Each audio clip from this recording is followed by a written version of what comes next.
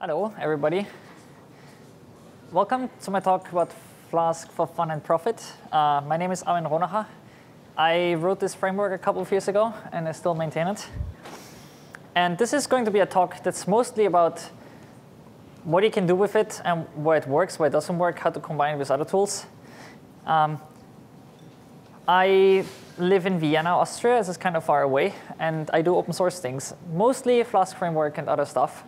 So this is the library that I wrote, which most people know, which is became shockingly popular.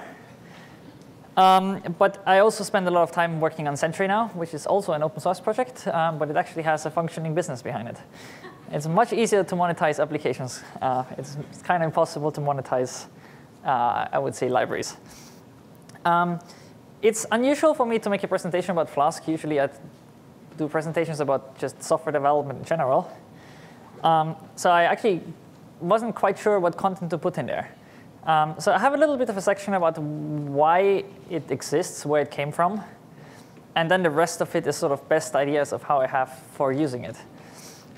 Um, so where it comes from is actually a couple of tools that existed before it. Um, so before I wrote Flask, which is sort of the stuff most people use, I wrote a library called Werkzeug, which is terribly named, um, which is an implementation of WSGI for the part of the application which sits as close as possible to the application, as opposed to the part which is a WSGI server or a transport to some other thing. Uh, WSGI or WSGI is a standard which the Python community came up with in 2004, so it's quite old at this point. And it's largely based on CGI, and it still underpins a lot of the web development that happens in Python.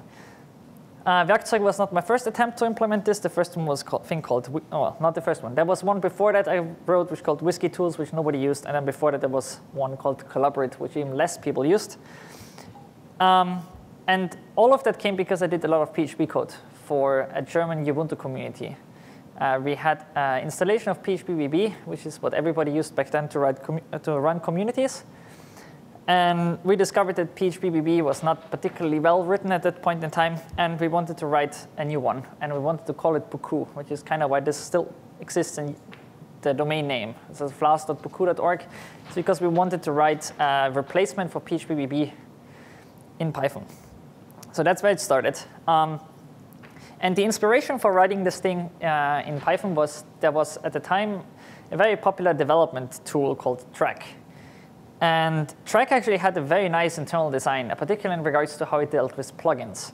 And one of the things that Trac had is it wrote all of its um, low-level code for dealing with uh, Apache um, or any web server itself. So it had its own fast CGI driver. It had its own CGI implementation. It had its own driver for mod_python, if people still remember what this was. So it, there didn't used to be a standard of talking between application and server. Um, so when we wanted to, and we in this case is me and a friend of mine called Georg Brandl, who wrote this Sphinx documentation tool, we actually started to have to write this, this base transport layer. Um, that was a long time ago. And the idea was that we are going to write this base transport layer so that other people can then build PHPBBs and, and other software on top of it. So the, it was never really uh, the idea to write a framework like Django, which has this huge uh, like opinionated configuration system and so forth. It was just make the bare minimum so that it, it's easier to write up distrib distributable applications. So that's the origin story of this. And eventually Flask was like the, the uh, last sort of result that came out of this, uh, wanting to write uh, a base tool for people to use. Um, I tried to figure out why people like Flask. It actually is not that easy. It turns out that it's really, really popular uh, scarily popular. It, at this point, it has more stars on GitHub than Django, which is, I'm not sure why. Um, it's a tiny thing. I guess it's easy to pick up. Um, but it doesn't really move all that much compared to Django. Like there's always more stuff you can put into Django. There's very little stuff you can put into Flask. Uh, because it has like a fixed box and it doesn't want to make the box any larger. Um, but I think the API works with people well enough that it also seems to get popular uh, outside of the Python Flask ecosystem. So for instance, I noticed that Amazon released a new thing written in Python for their Lambda system. It's like serverless applications, which is weird because there is a server behind it. Um, but it's, uh, it's basically the API is, is, is very similar to Flask. And there are versions of this for Rust now I've seen. Um, overall, it has a very small footprint. So it's very easy for people to get, I guess, a good overview of what the overall API is, and also then to figure out how to dig down and find the internals. Um, so I think the parts where it's good at is you can make very simple HTML heavy, like um, uh, like just data insert uh, and update things, like whatever else falls into this category, be it a wiki or a, co a, community forum or just simple website where you have like a content management system. All that sort of stuff which renders HTML directly, it's, it's quite good at, and JSON APIs. Um, so it's, it's just a, a, reasonable default tool to build microservices or, or small applications. And it's smaller footprint, which means it's quite fast in reloading things. And I also think the testing is good, but again, I'm biased about this. There's one area where I know it's not particularly good at, where I would say it's actually really bad at, which is high performance asynchronous I.O. It's based on WSGI. That standard is totally not suitable for, um, for like concurrent I.O. things. Uh, so that's the part where you can't really use it. Um, there are some clones for it, for Twisted I've seen, and some other things. Um, but so I draw a clear line between normal application code and then um, high, high performance or highly concurrent asynchronous stuff, where I think the Flask ecosystem really doesn't work well in itself. Um, but I will cover later on kind of how you can deal with this um, and what happens if you need to combine uh, a, a, traditional Flask application with something that is uh, like WebSockets and things of that sort. OK, so this is kind of the first part about how I structure Flask applications, or how I also see the Flask community structuring Flask applications, um, which is this pattern. So instead of making the application once somewhere, you make a function, and the function creates the application. Um, that has a bunch of really neat benefits. The biggest one is that you can create multiple of those things at the same time, which most applications don't need to do, except when they run unit tests. Um, so this helps really well that an application might want to do different things depending on how the configuration is. By moving the creation of the function uh, the, of the application into a function, it gives you the opportunity to reconfigure the application in a really clean way. Um, so if you have used Django, Django has this huge uh, Django config settings thing. Um, it's a module, a global module. There are variables in there, and then other code might draw conclusions of the settings of those variables when it was first imported that's a problem because if you want to flip this variable later on during testing, it might not have the effect that you expect it to do. So very often people have to do like monkey patching or restructure code so that it looks at the configuration variable at a later point. Also means that you can't test concurrently because you expect that the framework actually stays in this configuration for the duration of that individual test. Um, so by moving it into functions, um, you can have two applications live at the same time with slightly different configuration and then uh, run the tests at the same time or, or just make sure that the tests are properly isolated. Um, one of the effects of this is that the application object is in a function, so it's kind of hard to see elsewhere. Um, the way you can deal with this quite easily is there's a function called here register blueprints. Um, this is not a function that exists, but basically the idea is that you, you move all of the application code into what's called the blueprint in Flask, which moves basically all the operations that would be performed on application objects on a dummy object, and the dummy object later goes in and registers itself with the application. So in this case, um, this is sort of what, find, what you would find in most applications are right. There's a utility in Werkzeug called find modules and import string, and they walk um, basically every module under a certain path. So in this case, it goes in and finds all the modules under my app.blueprints, and then you can import this. And then if there is an attribute called blueprint on it, then it registers this blueprint with the application. So that's a straightforward way to, to move code out into uh, a common structure. The, uh, the other pattern that uh, makes this create app interesting for some use cases, uh, it's not as common, I would say, but it's very useful, is that you wrap the entire Flask application in another object, um, which you can call whatever you want. and it just forwards the WSGI call into the application.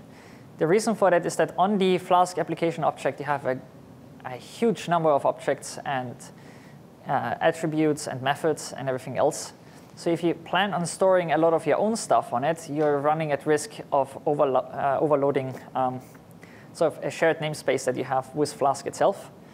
Um, so this, for instance, I've seen when people write applications which are very highly specific and expose an API that other people want to use. So for instance, um, if you have microservices and this microservice has a lot of microservice specific configuration that is not has nothing to do with Flask. So for instance, it wants to talk to uh, a broker, a Redis broker, or like AMQP broker, and it has uh, very specific configuration which is um, which lives outside of the Flask ecosystem, but it's something that they might use in a different part of the system, which is written in Flask, uh, in Django, then it makes sense to move this entire configuration into a common object, and they can do this with this. Um, in that case, it sets a reference to the to this my thing onto the Flask app, so that from any other place where you have a Flask app, you can rediscover this outside type. Um, that's something that's useful uh, in some situations, but it's not something that always comes up. Now, once you move an application into um, once you move an application into a function, question is how do you actually configure it? Uh, because now it's you need to call this function somehow. So as of the last Flask release or the one before, the best way to do that is to have a second file for development called devapp.py. It imports this create app function. It configures it for local development, and it just assigns it to this app variable. And then afterwards, what you can do is you can just export flask underscore app in your shell to point to this file. You export flask debug equals one, and then if you run flask run, uh, it discovers this file, and it will use this file as the source of reference to create the application. Um, the Flask tutorial will actually point you to running app.run on it. Um, there's a recent change we did, and the reason for this is that there were two very annoying cases that people were used to run into a lot when they did create Flask application at the end of the module run app.run. The first one is that when a syntax error happens, the reloader will import the syntax error and it will die. And the reason it will die is because uh, it, it, can't run this module again, and the, the reloader is, is kind of restricted in regards to how it can deal with this. Uh, it doesn't have much choice other than dying. Um, this fixes this because the Flask run thing is in isolation, so it can it can keep your it can import your code, um, and if your code happens to have a syntax error, it will still manage to run itself uh, without dying. The other one is that if you actually consider Flask.run is the last thing that runs in your in your module, which means all the things that run up to the point of Flask.run have to be executed before the reloader can kick in. And the way the reloader actually worked is that it ran all the way up down to app.run, and then it reloads once and runs through this whole thing, whole thing again. So a bunch of people ran into this issue where they're not really exposed that this is what the reloader is doing and has to do conceptually, um, that they run setup code twice. So for instance, uh, they would create a database twice, or they would uh, try to create a temporary file and append to it, and then everything would execute twice. Um, this fixes this, because Flask.run is a shell command that comes now with Flask. It will spawn a server, and then it will, on first request or in the background, will load the application, will configure it, and then will serve it up to you. And what's even nicer about this now is that the reloading happens without ever dropping a connection. So before that, it used to be the case that when it reloads, you got a connection reset every once in a while because the application was not back. Now it will nicely wait for you until the application has finished reloading um, and you don't lose any HTTP requests, which helps local development a lot. Um, the last thing some people don't know is that latest Flask versions actually have a pin for the debugger. So it used to be the case that you can just run local code in your debug pages and it will execute just fine until um, there was an incident where quite a popular website had a debug version of their application running in an EC2 cluster on a staging environment. I think I, am not going to name the company, but it was large enough that I figured that that's going to make really bad publicity because their entire user database got hacked because on their staging environment, someone figured out that the Flask debugger was running and was just executing uh, Python code and then basically downloading the entirety of their MySQL database into the world. Um, that's why there's a pin now, because the pin is printed on the shell, so you need to have shell access to see the pin so that you can enter it once. And even with the pin, don't run the debugger in production, or don't deploy the debugger anywhere where people can run it it's, uh, or can access it. Terrible idea.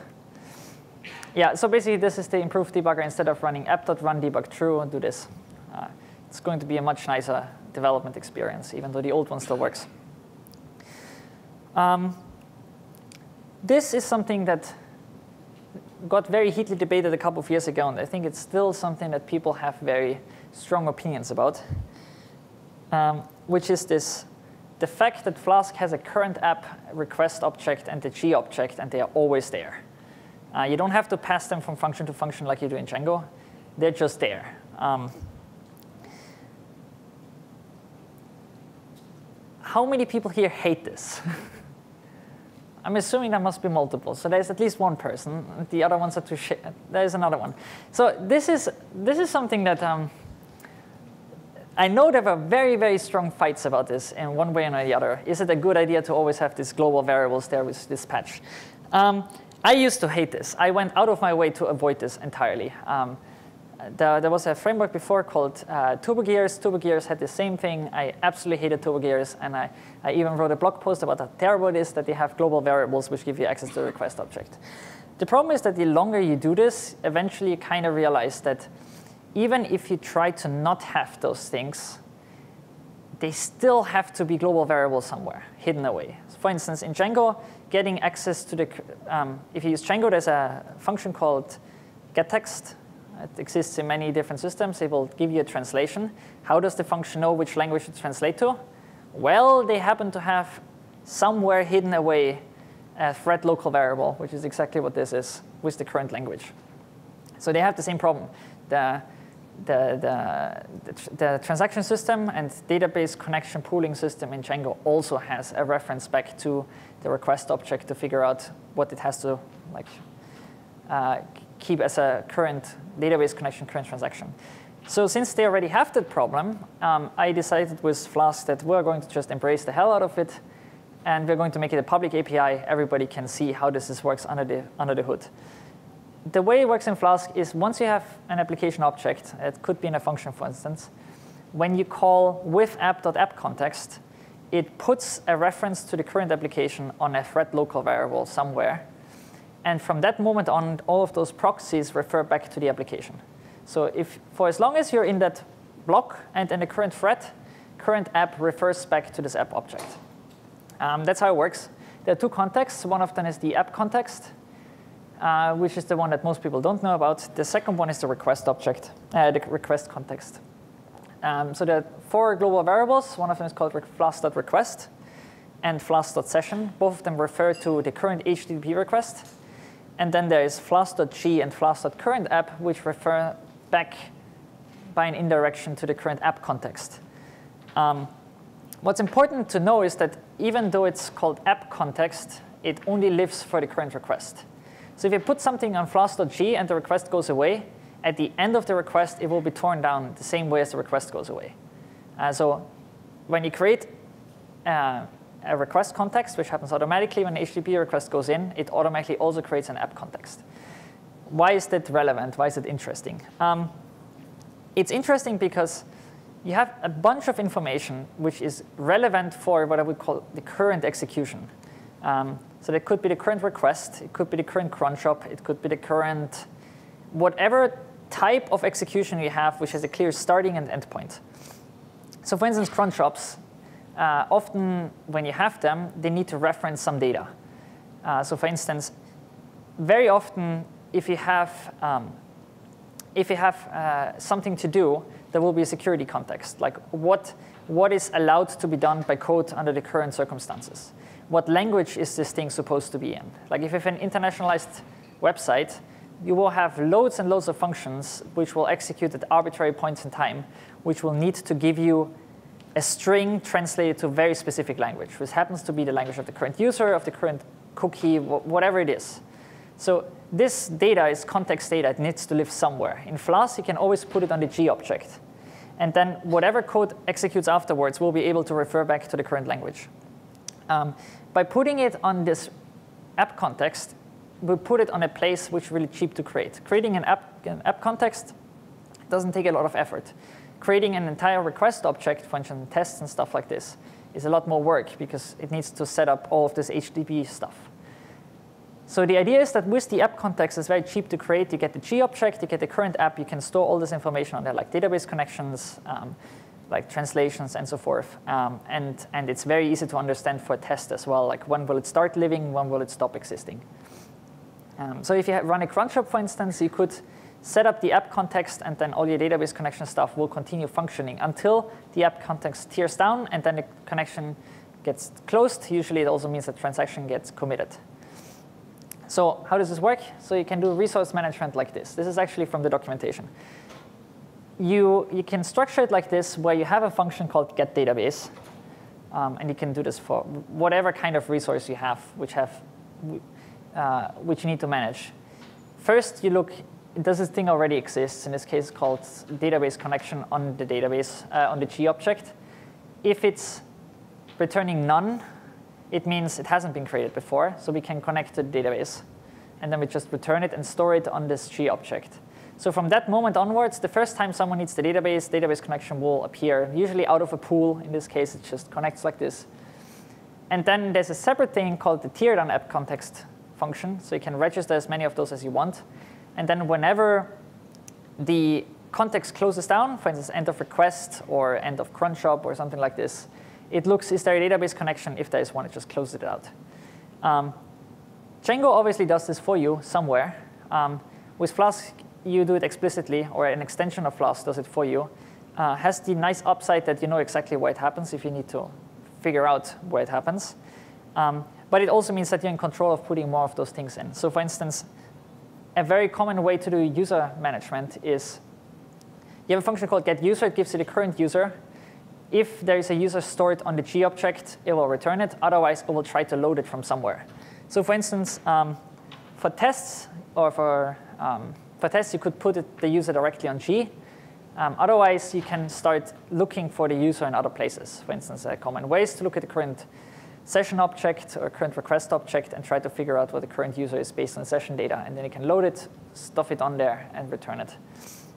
Um, and you can do this with as many things as you want. Like for instance, very often I put uh, current language on there, current security context. I will cover this a little bit later. Um, and you know at any point in time where is it, and you can like stuff onto this G object, you can put different data. Um, for extensions, they can also use G, but they shouldn't. There's a hidden object behind the scenes where it's like where there's not a shared namespace where you can put this information. Uh, but the idea is the same. So on first usage, just stuff it on this G object. It's local to your current request, cron job, whatever it is, and it just keep working on it. So this is how um, the basic management of resources kind of works in Flask. This is how you could build an API with it. Um, there's lots of extensions for Flask for like RESTful APIs and stuff like this. I actually don't use those. I write it myself because it turns out to be very little code that you have to write. So the common way in which I write um, an API in Flask that speaks JSON, or something like this, is I create an object called API result or something of that sort, which stores the return value the API wants to generate, um, and status code and whatever information I want to generate from the API. Um, the reason for this is that I want my APIs my API endpoints to be consistent in regards to sort of what format they speak. They should all speak roughly the same type of JSON. They should roughly correspond to uh, have the similar behavior for headers they produce, um, for how they place white space, which variables they leave out in the responses, and so forth, uh, which MIME type they produce, and so forth. Like, uh, the, I want this to be consistent, um, and I want it to be specific to my API. So for instance, some APIs do pagination in link headers. Some APIs do pagination by having custom headers. Some APIs want to return how many, uh, how many um, API requests you have left in your rate limiting window. Stuff like this. So I just moved this into one common thing called API result, and I returned this from my Flask functions. Um, now, by returning this from my Flask functions, something in Flask needs to respond to this. Uh, and you can actually do this with a very simple subclass from Flask, uh, and you override the make response method on it. This is called by Flask for all return values from view functions. In this case, I will just check, is the return value an API result? And if the return value is an API result, I convert it into a response object. Um, otherwise, I go with the default behavior. The default behavior is if it returns a string, it will make a response object with MIME type text, text set to text HTML. If it returns a tuple, it will return first part as a response, the second part is status code. Um, if it runs a response object, it keeps it as such and so forth. Like there are different um, default behaviors that it has. So I just overwrite it and add another one. Similar thing I do for exceptions. An exception has a message and a status in this case, but it could like have many more things like common error codes, uh, HTTP response codes it wants to return, and so forth. Um, and then I have a function called toResult, which returns an API result. So it's like a similar thing. Um, now I just need to tell Flask what happens when an API exception flies out of a function. You can do this with this register error handler. It's a, what happens when an exception of a certain type is thrown, in this case API exception, and I convert it into a result. And then that goes through the regular handling and eventually ends up in a uh, API response. And then you can, oh, then you can just do things like this. You have a blueprint uh, it gets two arguments out of the request object, uh, checks if they're both set. If they are not set, or if the type doesn't match, it raises an API exception. Otherwise, it returns an API result. Um, so that's really quite straightforward. It doesn't change a lot of behavior in Flask itself. And it means that the function in itself returns nice objects you can inspect in your tests. So if you call this add numbers function directly in your test, it would return objects you can do assertions on. You can make sure that it actually has the response that you want without having to go through like actually parsing the JSON back from the, from the, uh, from the test client if you want to do it this way. Um, obviously, in this particular case here, we have the request arguments. It's actually incorrect. It should say request args.get. Um, but it, it pulls out these arguments manually, um, and, and that's not very nice. So how do you validate? How do you do this serialization? Um, to be absolutely honest, for the most part, I hate this a lot in Python. There are so many different ways to validate things, and almost all of them are falling into very weird cases. Um, like, I think whenever people are bored, they write a new validation and type conversion framework. Um, there either very powerful and super opinionated and, um, and, and they're fun, but then they're very restrictive in other ways. So you need to generate a response in a slightly different format and all of a sudden it falls over. Or you, can't have the date format you want, or just changing the date format is too much work. Uh, or they're really powerful and they're so painful to use that nobody wants to do it. Um, or they're super weak and then they decide on how your API has to look like and you can't live with the limitations. So finding the right library is really hard to do this. Um, there are lots of people who do JSON schema now. Um, there is just a lot. Um, one that I like to use is Voluptuous, or whatever you call it. Um, it's a very quite straightforward thing if you want to use it with Flask. Uh, you can make a decorator which takes a schema object.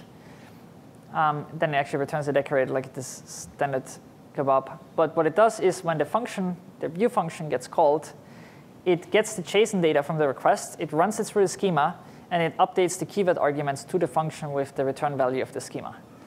And then if an error happens, I convert it into API exception. You can make this much nicer that it returns like more structured information. Um, and then otherwise, it just call the original function like it was. So to go back to the add numbers example. So you can, for instance, run add data schema, and then you pass in a schema from this library. Um, and you set like a and b have to be integers, and then extra arguments you want to remove. And now it goes through data validation, which takes your schema data, it goes to the Flask request, um, passes it through the schema, and then eventually invokes the function with those two things, and you can do your result. Um, this is a general rule, is kind of how I like doing this. Um, not always with the same library. Sometimes people already have some stuff, but this idea of attaching it to, uh, to basically the, to the function is conceptually something that I like. Um, often I make it a little bit more complicated so that testing becomes easier. Um, so I already mentioned I don't actually use ex extensions for this. I think they are really nice for a lot of things like, for instance, database connections. Uh, like I like Flask SQLAlchemy and stuff like this. Um, I'm not a huge fan of Flask RESTful, or is it called Rest, Rest, RESTful? Um, because they're super opinionated in regards to how the response format should be. And I, I generally tend to run into some form of limitation in there or stuff I don't like.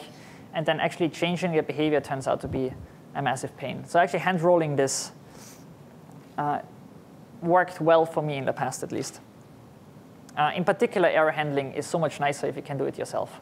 I like to return errors in a really nice format so that whoever writes the client for it has only a few conditions to, to handle. In particular, when you talk about mobile APIs that need to handle errors uh, or retry logic and stuff like this, the clearer the errors are and the better documented, uh, and the fewer spurious errors that come from internal APIs go out, uh, the, the, the closer it gets to an API that everybody understands. I mean, there will always be this case where the client author gets error codes from the API, which are not always clear where, where they come from, like uh, system overloaded, Nginx misconfigured, that kind of stuff. So you need to deal with them anyways. But the majority of API errors will be conforming to your specific error format that you can do something with them. Um, and also, the moment you control this, this API generation internally, this API response generation internally, you can add more stuff to it. So for instance, if you, uh, if you take this API result object we had before, very often APIs want to generate like an information where is the next item in my pagination. So in this case, I just have next page as the URL to the next page.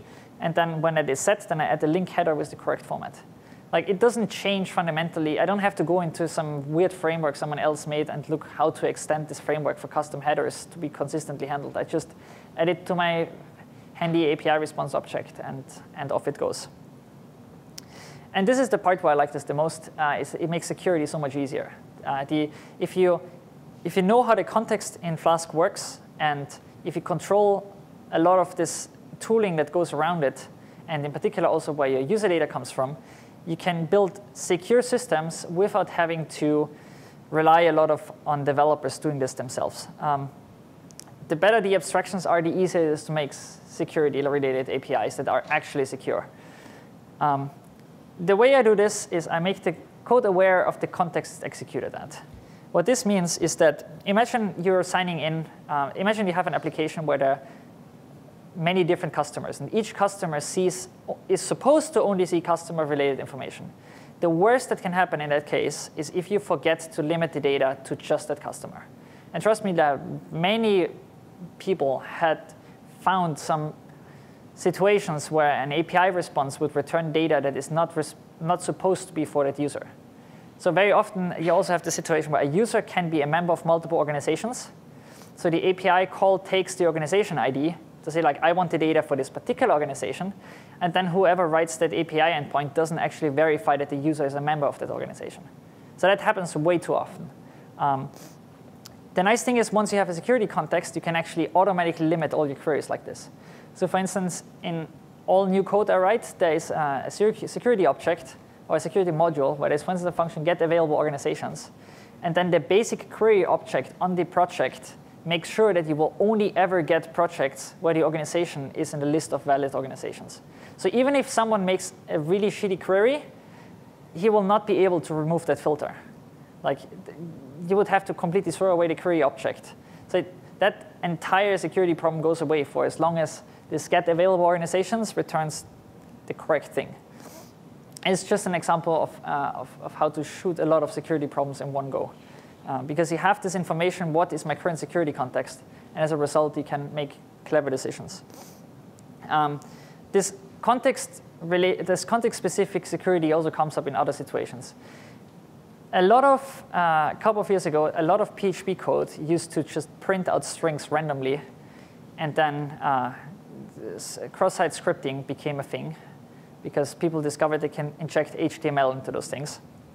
Um, that keeps happening over and over. Like people used to just print out strings that are like, I don't know, for instance, a, a message into something where certain characters change the behavior of it. Like be it uh, strings going into HTML, strings going into JSON, JSON, strings going into JSON, that's JSON going into HTML, and so forth.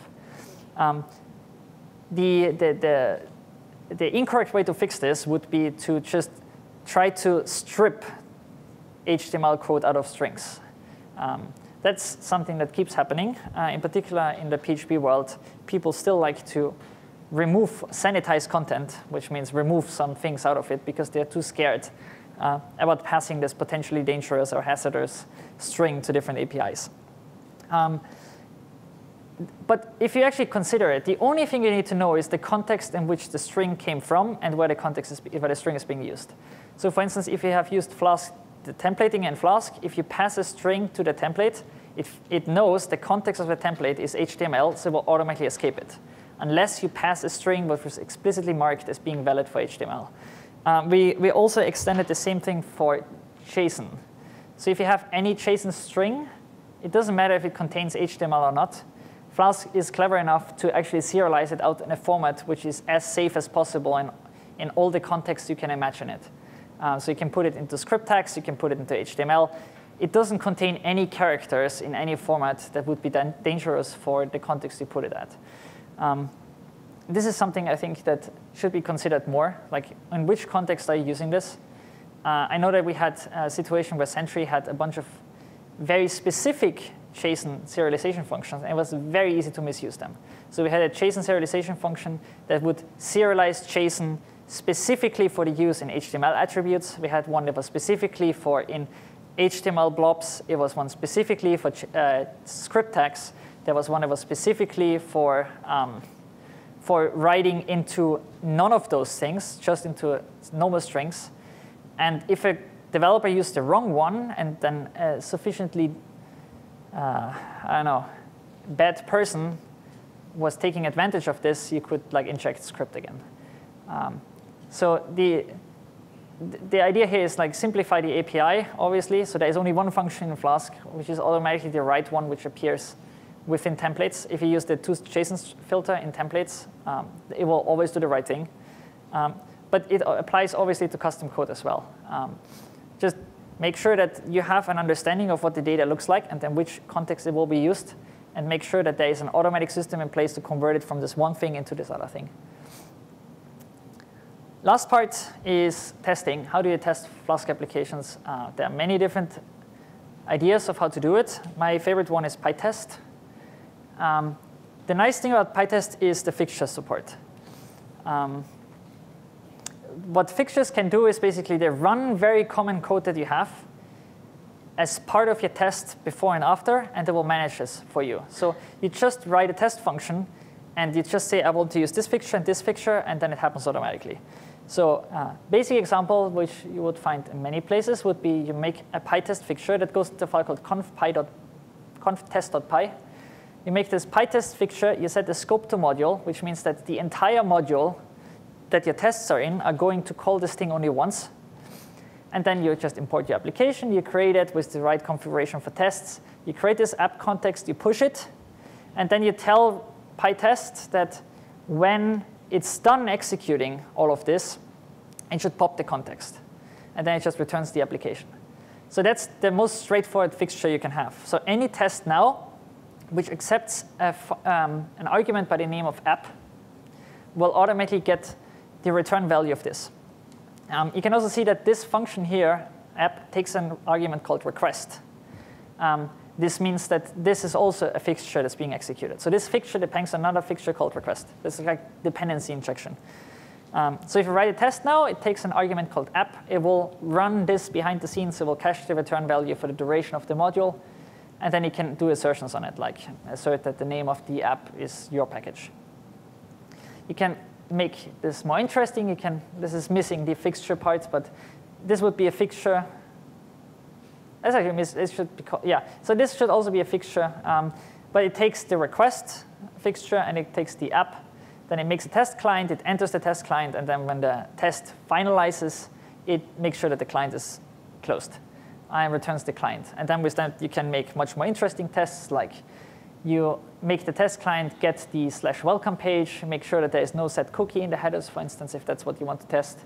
It makes sure that the string welcome appears in the return values data, uh, and it makes sure that the status code is 200, stuff like this. So PyTest for me, I used to dislike it for a lot of the magic that it did. Um, they cleaned up a lot of this. Um, it's actually really good now. In particular, the asserts that you see here behind the scenes, they get rewritten. So this assert statement actually becomes, um, and we do like assert blah, blah, blah equals blah, blah, blah. Behind the scenes, it has a transformation step will convert the left part of the statement and the right part into individual function calls. Um, so it will actually do like you have in unit test. There will be an assert equal rv.status and 200. Um, conceptually, it actually does something different. But the idea is it understands that this is a comparison. So if this comparison fails, it will not just tell you assertion failed, it will tell you what the left side is and what the right side is. So it will print this out and also uh, give you all kinds of other introspectability. One of the things, for instance, it localizes your print statements. So if you print in this function anywhere before the failing assert, it will tell you like these are all the things I printed so far um, and as part of this test. So it, it makes debugging much, much easier last part to cover is basically how do you WebSockets and stuff like this with Flask? And the answer for the most part is you don't really.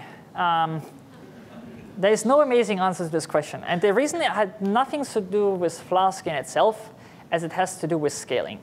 Um, what you don't want to do is you don't want to say, oh, this is Flask, we're going to add WebSockets to it now, and then there you go, do WebSockets with it. Um, because from a fundamental scaling point of view, scaling a Flask application is uh, it, there's a request coming in, there's a response going out, there's some time spent in this, and while that Flask request handler is doing the stuff, nothing else really does anything. Um, there might be multiple threads handling this, there might be greenlets handling this, there might be a lot of stuff happening, but you could take, I expect these number of requests coming in, in a certain time window, I will, take, I will need these many processes to handle this. Um, and you can get an idea of how long it will take to execute. And as such, you can figure out how many CPUs do you need, how many workers do you need, like how many uh, individual machines do you need. Um, but with WebSockets, none of that makes any sense. Because, for instance, you can have a, uh, you, uh, take an application which has um, opens a WebSocket connection for every tab that you're in. And then because uh, the tab is open, the WebSocket connection stays open for the duration of the tab. And the whole point of that WebSocket connection would be to give you updates about comments that come in. Like GitHub does this. If you're on a GitHub issue page, you can keep it open and GitHub will stream in more comments coming in. Um, you could have thousands and thousands of tabs open, and these requests do nothing other than taking up uh, file descriptor on the server and a little bit of context information, and, and the socket, obviously. Um, but it's very hard to predict what's going to happen.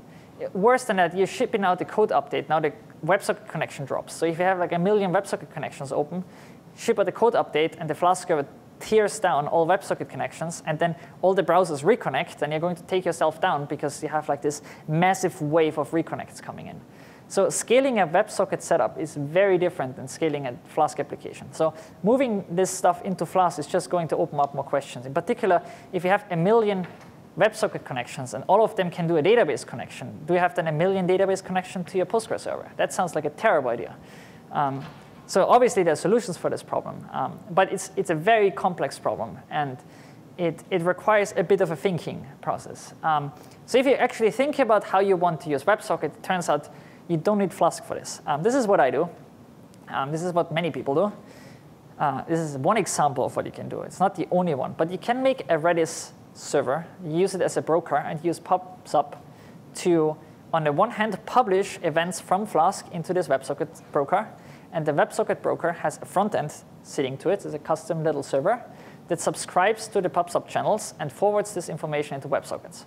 That turns out to be like 300 lines of code uh, as a straightforward base estimation. You can build this with Tornado, you can build this with Node.js if you feel like it. You can build this with Go, you can build it with almost anything. Um, And all you do from your Flask application is you push these events into these individual subscription channels. And then the browser connects to this WebSocket server independently of it connecting to the Flask server.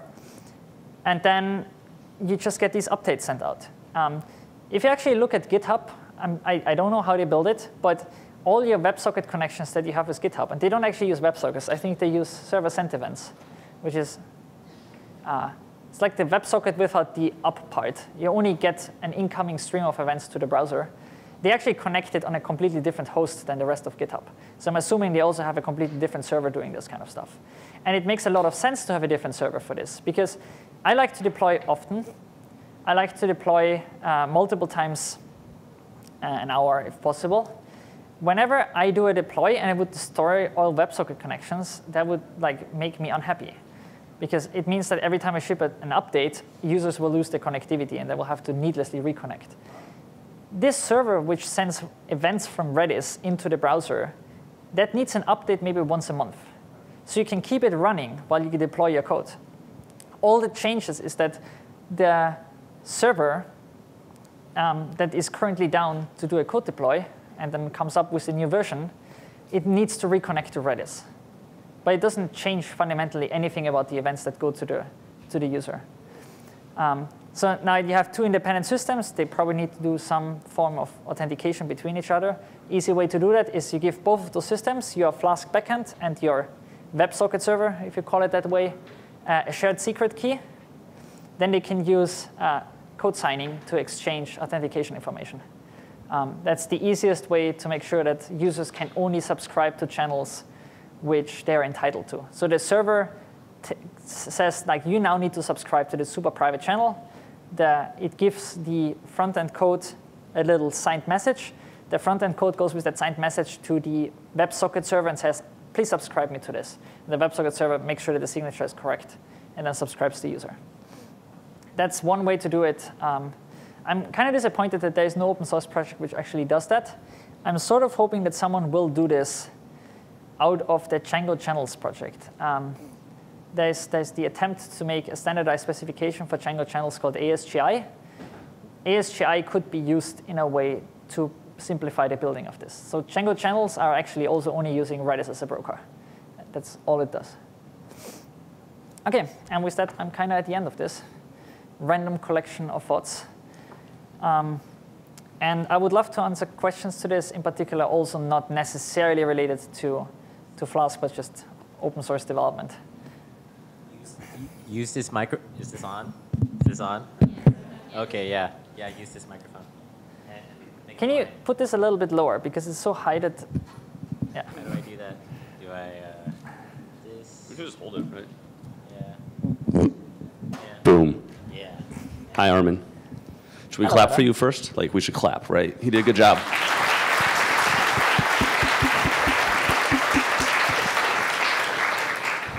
Uh, my question is, so you uh, Flask and Werkzeug, did I say that right?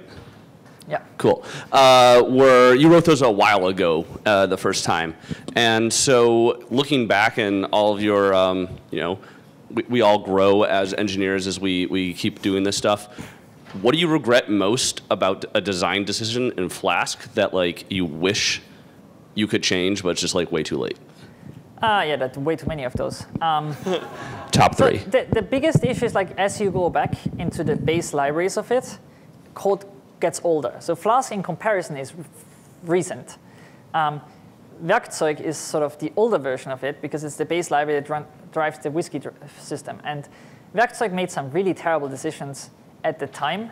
So in particular, Werkzeug sticks to the standard of WSGI way more than the rest of the Python ecosystem did um, which means that it has a lot of overhead in it to support some potentially to the standard sticking implementation, which doesn't actually exist in the world anymore. Um, so particular input streams, in, uh, as they're handled in Werkzeug, they assume WSGI servers which no longer exist. Um, and that has unfortunately left its mark in the code. Um, there, there, are a bunch of more, more of those things. Um, so that I regret for the most, the most is that it sticked so much to the standard more than other people did. I wouldn't do that again. I am happy to break some standards in the future because the collective ignoring of standards is actually what drives us forward to fixing them.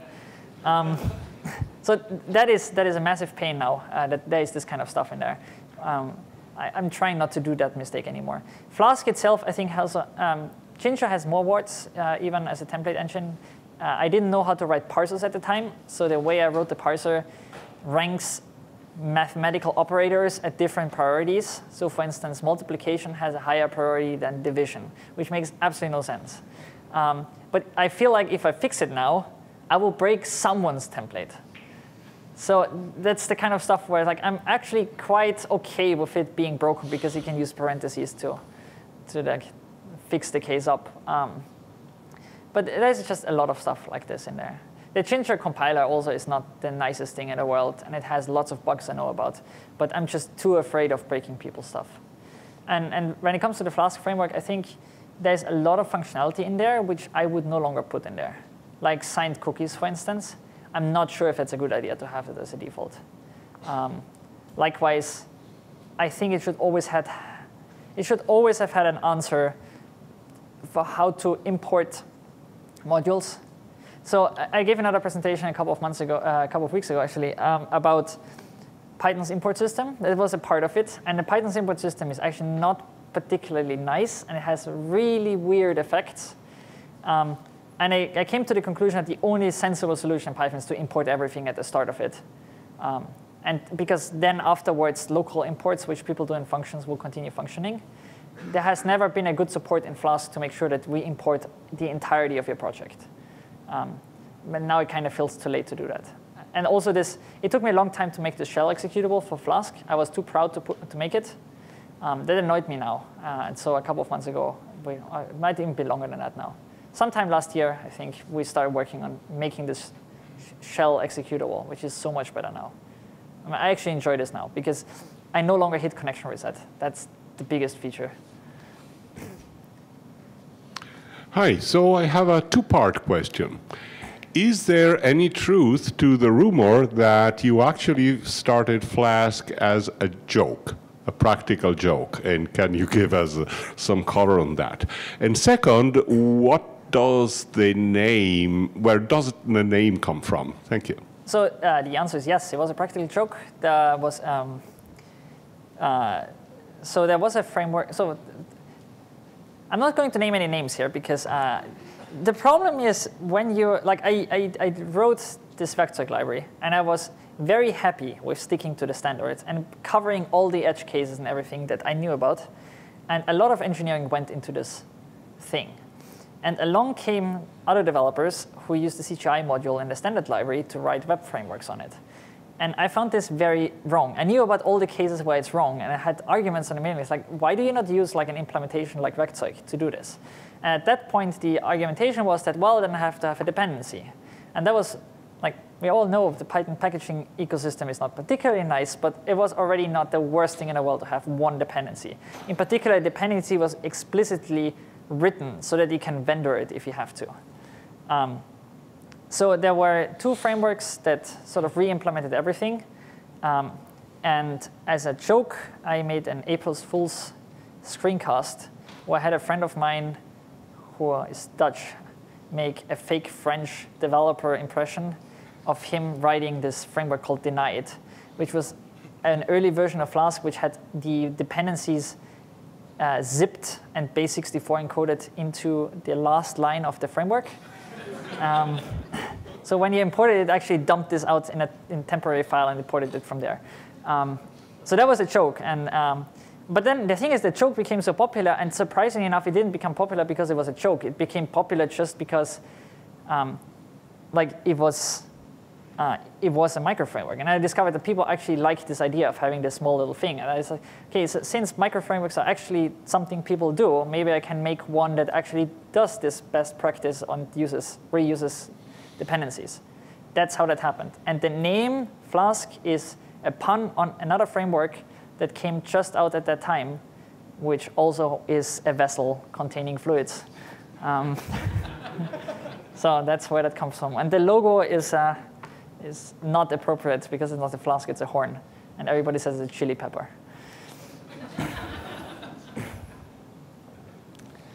I have a question about the WebSockets architecture that you described. Mm-hmm. So I see some uh, disadvantages in that architecture. First of all, it still requires HTTP from the web from the browser to the server, and you have to do HTTP handshake every time, and you're not using the fact that WebSockets is a two-way connection, and also it makes the architecture way more complicated. You have you need to have Redis or some other AMQP or whatever implementation, and makes the whole system way more fragile this Well, way. So, so the question is, why not use something like asyncio to have the first-class support of WebSockets and Well, because like it's only complicated for the hello world case.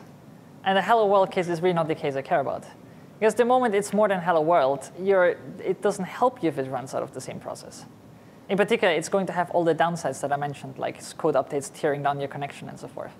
Um, so that, that's, that's one thing, like it's very easy to make a, I, wouldn't call it populistic, but it's kind of like this, this, this it- it's not hard to make a, uh, like a really simple, straightforward, oh, there's your WebSocket in your same application. And, and that's not new. That people have been doing this for a long time, even before asyncio came out. Um, and there were lots of people that wrote like little games with WebSocket connection and so forth in the beginning. Where it's like, oh, there's like I have just this one executable and it handles like 10,000 of connections. But what if you have a million connections?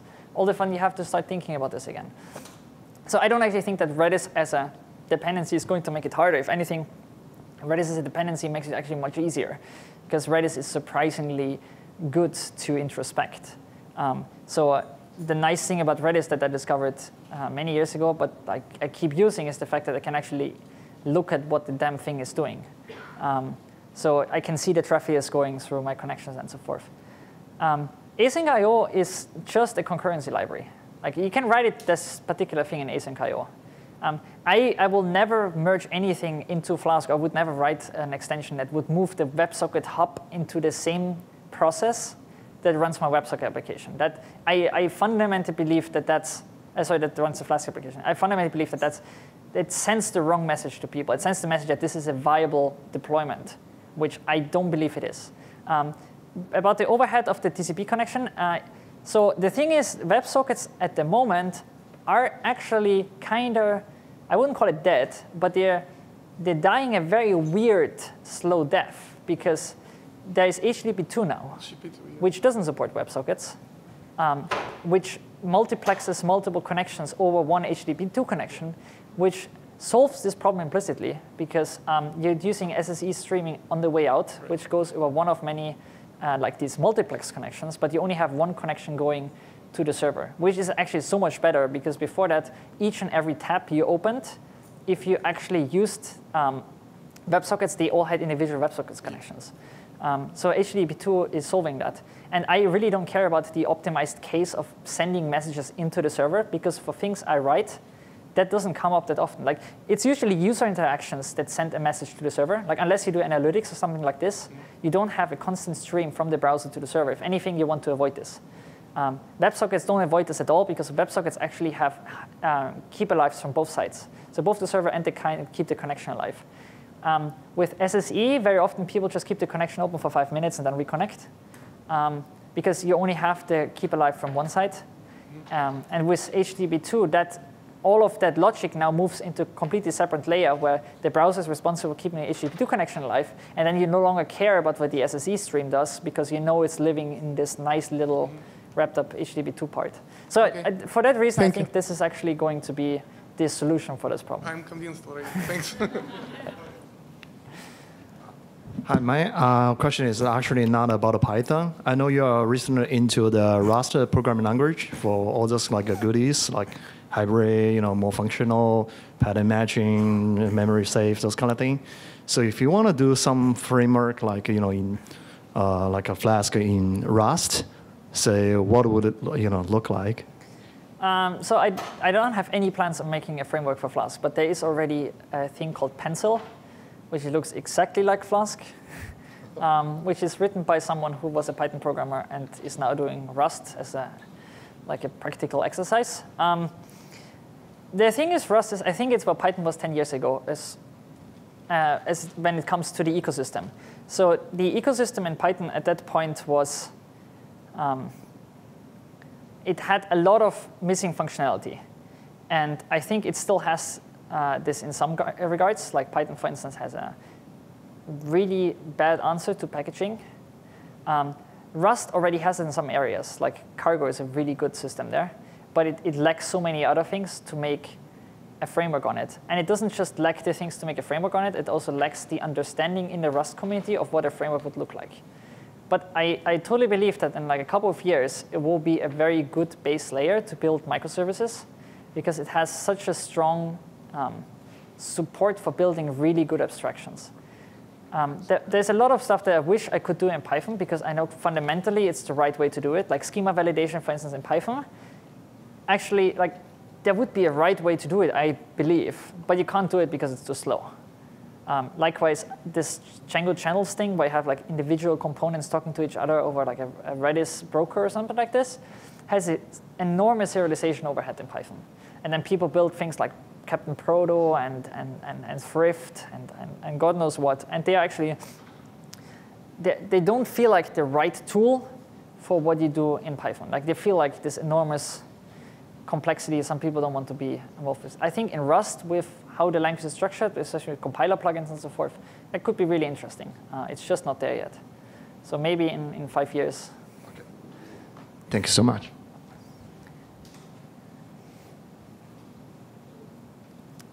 I think we're done.